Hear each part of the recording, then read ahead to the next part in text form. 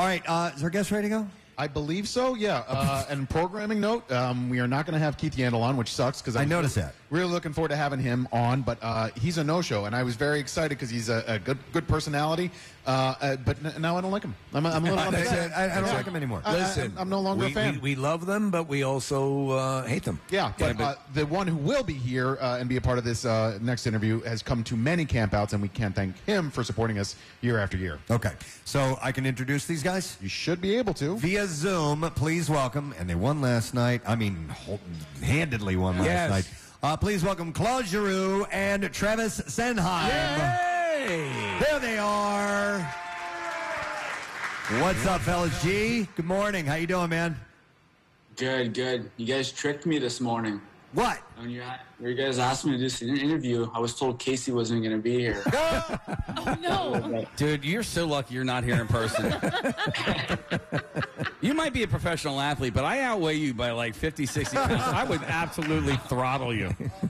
Full, full of muscle too, right? Well, I'm getting there. Yeah, Casey's been getting in know, shape. know. You know, he's actually he's, he's I know, I saw, I yeah, saw. Yeah. Well, we do know that G's a better bowler than you. I saw that Oh, I know. I saw it too. in person. Hey, G, congrats on your on your uh, goal and your assist last night. Travis, congrats on, on your assist to uh, to G's goal last night. It was a very it was a close game for for a couple of periods, but you guys just took you know took off in the third period. So congrats on that.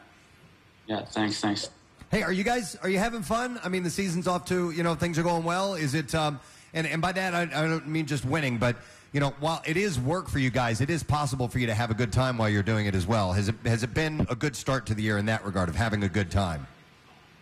Yeah, it's been great. I mean, uh, we have a lot of different guys on the team, and uh, older guys, character guys, funny guys, and um, like you said, uh, Keith Yandle's a funny guy, and uh, you guys, lo- you, you guys lo- lucked out with uh, Travis Sanheim here. He's uh, pretty hilarious himself, but uh, He's laughing uh, I mean, already. no, just being around all the new guys and uh, the way that this team came so quick and the chemistry off the ice, uh, um, it's uh, it's kind of working well right now. So we got to keep it going here. Travis, this is the first time we've had you uh, on our show, so we're, we're getting to know you for the first time as well. But um, uh, Joe Siville, who works at the Flyers, said that uh, you're a Canadian farm boy from the uh, north north part of uh, Winnipeg, uh, and you work on your farm in the off season. Is that true? Yeah, yeah, I head back there, uh, try to help out as much as I can. We uh, we got a grain farm, so uh, try to get in the combine tractor as much as I can, help out uh, the family farm. Okay, is it fun to drive that thing because it's gigantic? It looks awesome. It looks so cool. For me, it's fun, but uh, when I tell people I'm going three or four miles an hour, they uh, they don't uh, like it too much. Well, yeah, but it's still it's still a beast. Now, let me ask you, how difficult is it to milk a moose? Uh, Well, the one with the antlers or the one with it's a different kind of milk. We don't have a cow. we have a bull. Oh my god. Uh, so, oh man, um, something I was going to ask G. And our, What do you guys like to eat? No, it wasn't. What do you guys like? Well, I, I wanted to ask him, and Casey pointed this out. I was at the game last night, which it was really fun. It was a tight affair until the third, and then you guys pulled away, uh, and uh, Drew uh, uh, had, a, had a goal and an assist. Um, but the, your goal was there was an empty netter, and Couturier could have taken it and got his second goal of the night, but you were right next to him, and he passed it to you, and it was such a typical hockey play. It was so selfless, and he, and so you got a goal as a result. And uh, you know, did did um, Couturier say anything to you ahead of time, or is it like you're open, he passes it to you, and, and you get an empty netter as a result? It just uh, happened that you kind of follow the play. It's a, you know it's an empty netter, and uh, at one point it was just me and Coots, and uh, always taught uh, drive the net, you put your stick down, good things happen, and that's what happened. But uh, like you said, it was a selfless play from uh, from Coots, and um, I mean, if you could, he could have put it in, and uh, he didn't. So it was. Uh, uh, we just laughed about it after. Yeah, I mean, he really could have and, and maybe even should have buried it as he's making that pass. And I know it's kind of a bang bang play. Did you have any thoughts like, dude, what are you doing? Like, this should be Well, yours. yeah. Yeah, well, he had the puck, and I was gonna like skate away, let him have it. But I'm like, if I skate away and he passes it, I'm not there anymore. And it looks, it looks pretty bad, It right? will look So- bad, yeah. Uh, I Well, want- I'm not gonna complain. I'll take it. Yeah. You know, we, we, we talk a lot now and we apply it to everything because the show Ted Lasso is so popular and it kind of, in a way, has given us a peek into locker rooms and we sort of perceive is, is this the way that it, it, it, it, it goes? Is this across sports? Is this sort of accurate? Are you guys watching it? And if so, does anything ring true, at least about the dynamic of a team uh, to you guys if you are watching it? Have you seen it? No, go ahead. No, I haven't seen it. Oh, I, I, I I've seen it. It's uh, it's great. It's pretty uh, it's pretty accurate about teamwork and um, how a team goes well because they click together. And uh, when it's not clicking off the ice, most of the time you're not clicking on the ice. So Right. Um, I mean, it's a great show and uh, it's pretty dead on. I I, I want to say. Okay. Now, speaking of the locker room, there's a new tradition. The past few years, it's been a tradition of uh, somebody at the start of the game gets to wear uh, something that's been assigned. Uh, and now it's what is that thing It's called? the starter jacket from the ni- jacket. 90s. Yeah, and uh, Eh, I'm lukewarm on it. you man. you were a big helmet fan. I The like the original motorcycle helmet. I think was the best one. What What do you guys think? What uh, as far as that tradition? How about how about this? How about we give you guys a chance to bring something for us to player the game, and Oh. if we like it, we're gonna we're gonna do it. But it's got to be good. Like All we're we're gonna vote as a team. You, you guys bring anything you want to be, Whoa. We can do to that. be uh, a moose head or whatever a you moose guys head. want. You No, want. no. We- all right. Whatever you guys want, we're gonna give a- you guys a, a, a, a chance to, to have the player of the game.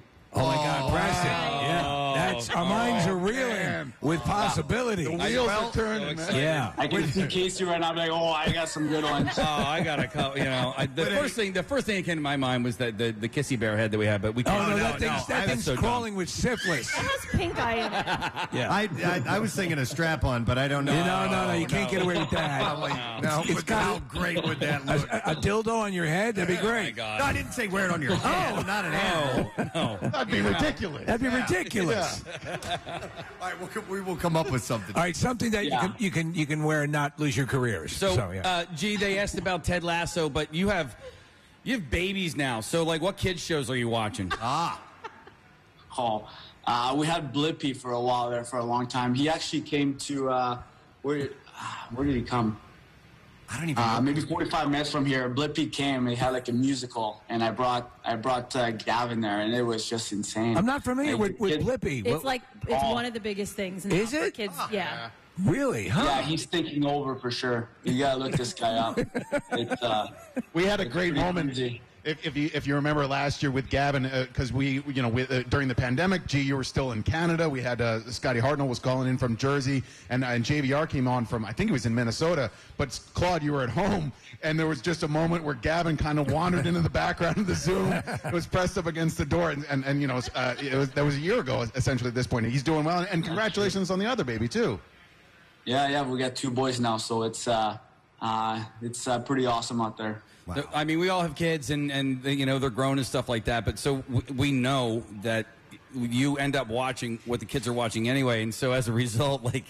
Some of our most exciting guests we've had in studio, we had the we had the Wiggles. The and Wiggles. We had the Wiggles, I was like, yeah. oh Yeah, my god! and they look actually this. they sang a song for us. and, Yep. and then here at the Camp Out for Hunger, we had the Fresh Beat Band. They're not They- around anymore. They're not Yeah, around yeah. anymore. So, the, but like you know, so that's why I asked you because you know this stuff they you know they become You become- celebrities in our world. Like yeah, yeah. You, they, you tacitly become fans because that's all you're hearing, right? I mean, Yeah. that's you don't see any adult regular sh- programming for a while. You're watching kid stuff.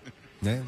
Yeah, I mean, when we went to go see uh, Blippi, we met him after too, and I, I was looking at him, and I was actually amazed. I'm like, you're, you're, you're, you're sick. You're famous. Like, I'm out. Can I get a picture? Like, well, With Blippi. Travis, how old are you, by the way, if you don't mind me asking? 25. 25. All right, your uh, kids ways off from that. What, what's your what's your Yeah. relationship status right now? You single single No man? kids, just a girlfriend. Yeah, no kids. The guy's driving a vehicle that goes four miles an hour. He doesn't have time, Preston. it's, you can't cruise for women in a combine. I don't know. Maybe in northern Canada you can. I don't know, man. oh, that's awesome. Well, listen, we appreciate you guys coming on, supporting this event. Travis, it's wonderful to have you be a part of this for the first time. And, and G, the years and years and years uh, that you've been uh, uh, a part of this event, we, we can't thank you enough because we know that uh, uh, the Flyers fans, it resonates with them. They come out, they get motivated, they help. People get fed, and it's a win win all the way around. So thanks for that. 100%. And uh, right. good luck. Good job, guys. Looking up forward to a great work. season. Let's Yeah. hear from Claude Thanks, Giroux. Thanks, guys. Travis Sanheim, thank you. I love it.